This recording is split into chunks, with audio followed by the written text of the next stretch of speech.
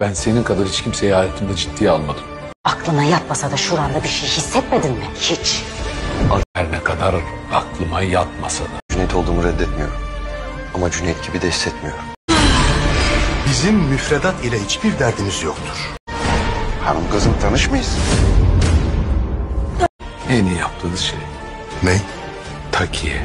Böyle ancak üniversite yurt dışına devam edecek öğrencilerimiz için. Evrim, müfredattan kalkmadı mı? Öğretilmeyecek.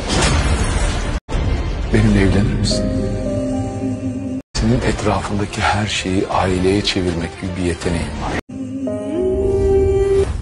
Vahit, duyduklarını sindirmeye çalışan Cüneyd'i gizlice tekkiye getirmiş, tehditle kendisine yardım etmesini sağlamaya çalışırken Cüneyd'i de hafızasını kazanması için zorlamaktadır.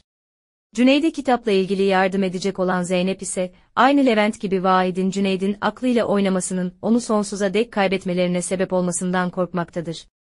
Bu sırada Hasna da Kevser'i hayatından çıkaracak büyük yalanı yakalamaya çok yaklaşmıştır.